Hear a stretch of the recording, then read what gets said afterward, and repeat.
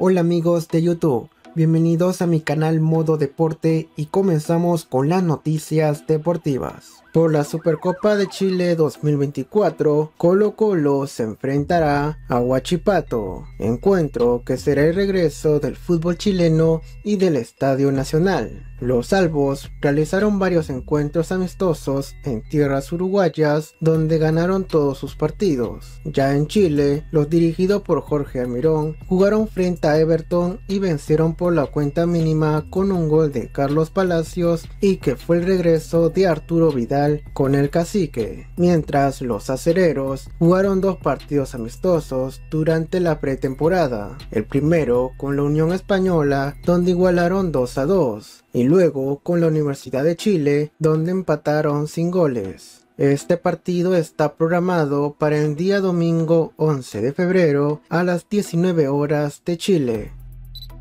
Diego Costa fue presentado como nuevo atacante del gremio de Porto Alegre. El delantero de 35 años jugará en su tercer equipo diferente de Brasil, ya que antes estuvo en Atlético Mineiro y en la última temporada estuvo en el Botafogo. El mundialista arribará en los próximos días a Porto Alegre para firmar su contrato hasta final del presente año. Cabe indicar que Lagarto ha jugado en equipos como Atlético de Madrid, Chelsea y en el 2023 estuvo en el Wolverhampton de la Premier League. Además, con España jugó los mundiales 2014 y 2018, marcando en el último tres tantos.